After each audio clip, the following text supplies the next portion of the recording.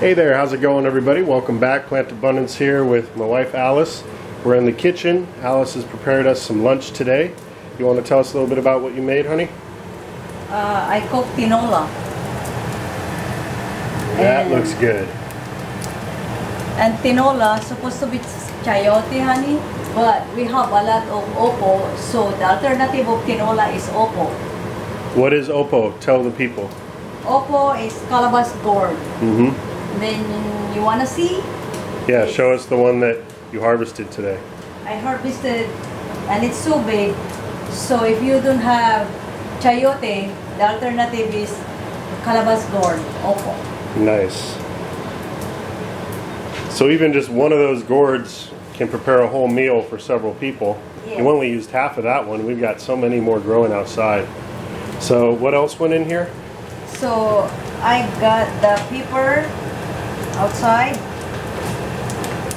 Some jalapenos.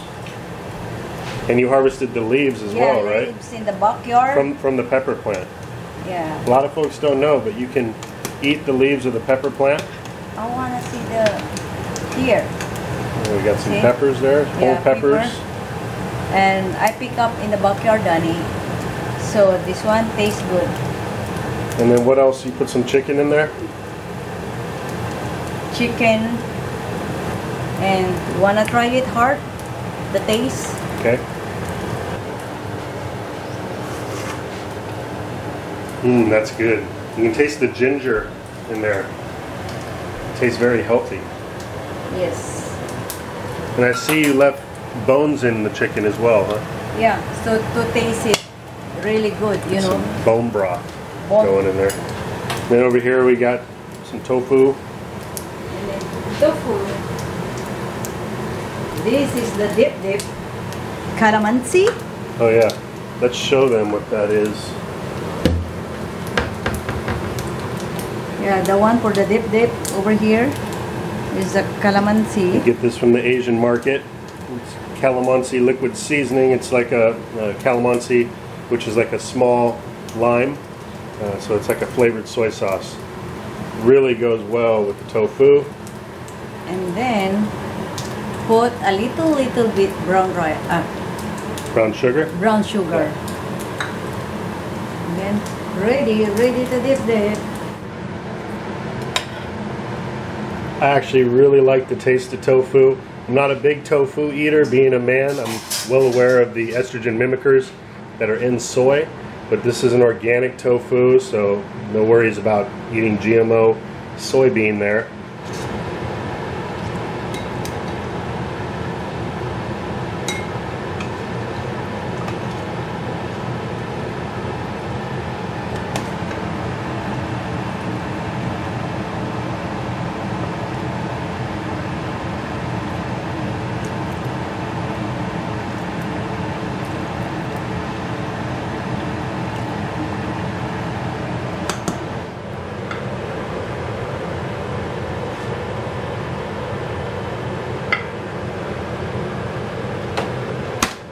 We do do white rice here as well. White rice can be easier to digest, so not a bad thing.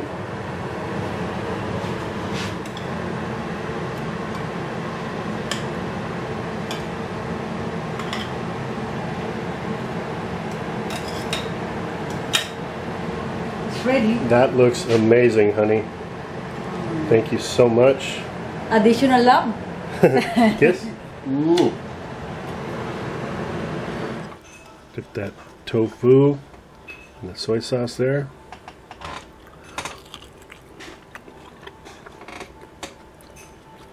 Mmm.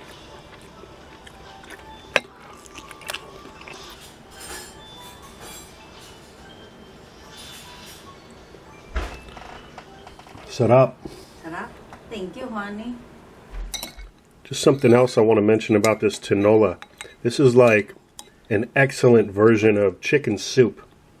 The ginger, uh, the chicken with the bones in there. This would be excellent on a cold day or if you're developing a cold or the flu.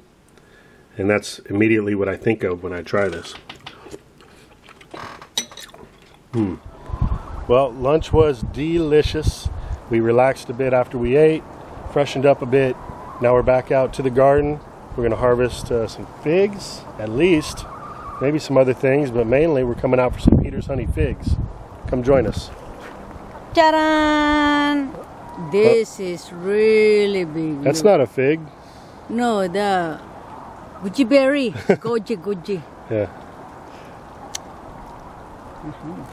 All right, all right. Let's go get some figs. I like pigs.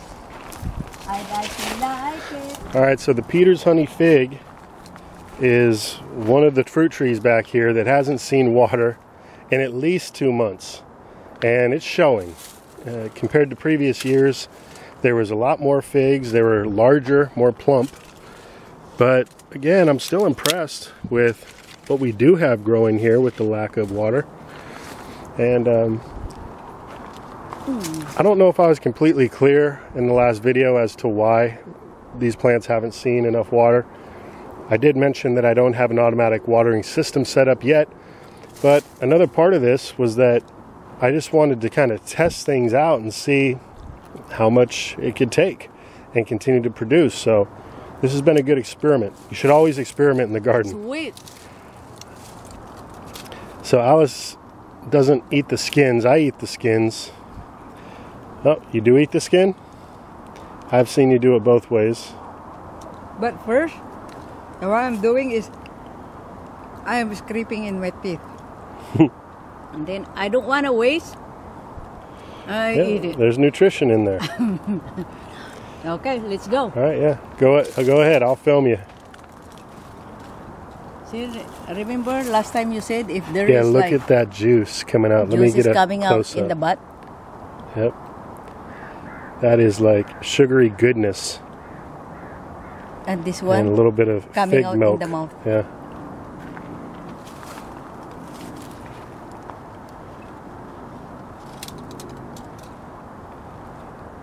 Hey, this is supposed to be a fig harvest video, not a fig tasting. Uh, I cannot resist.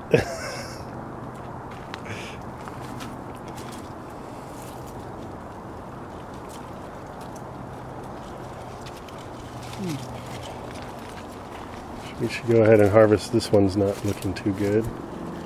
Throw this over to the chickens. This is big.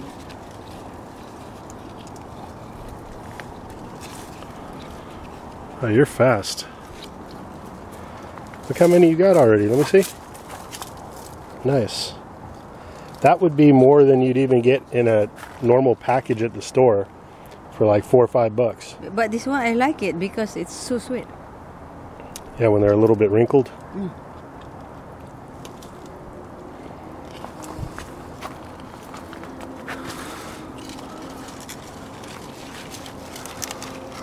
Mm. My coworker asking me again when I'm gonna bring the pigs. Yeah, everybody wants the figs.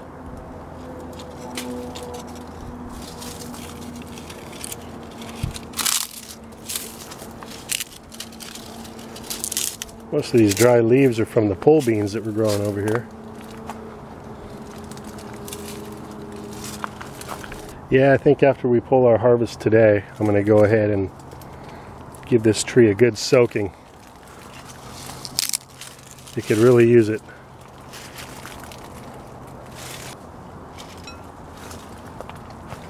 You can see like over here, this is the um, Florida King Peach.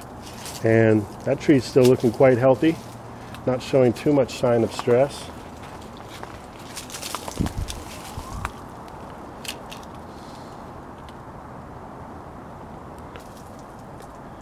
We don't have to get every single ripe one today because there is more than I think the bowl's going to hold.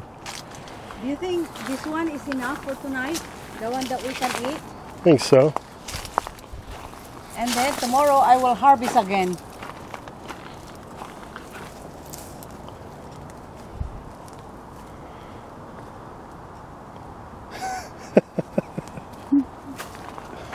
All right.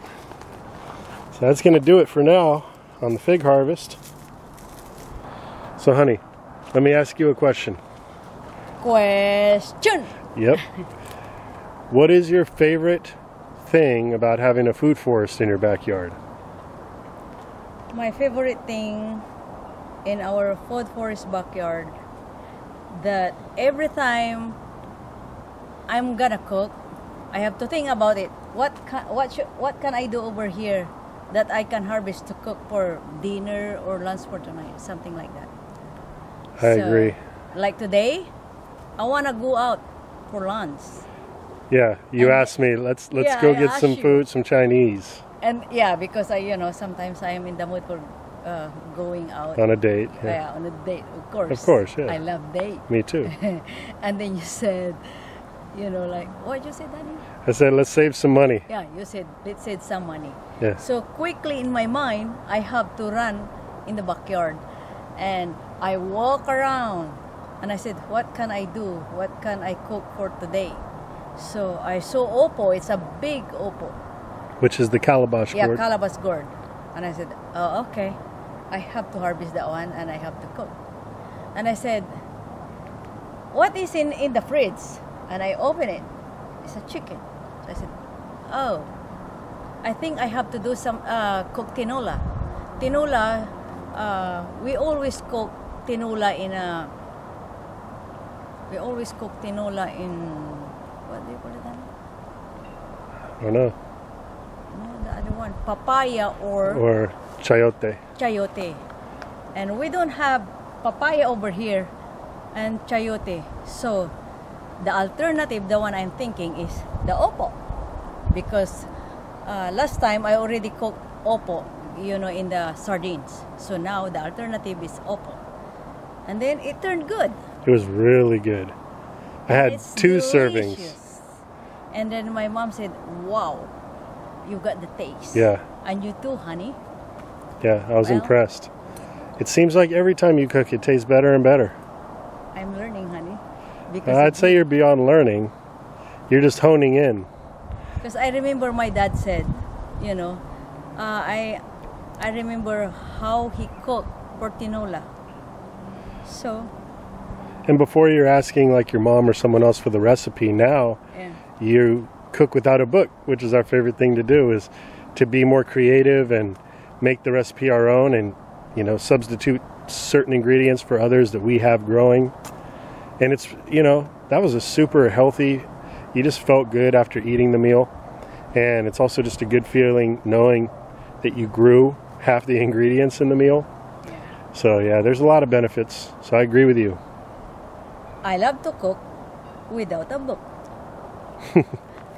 So with that, guys, we're gonna let you go now. Thanks again for tuning in. Hope you're all having a wonderful weekend, and we'll be talking to you again soon. Take care.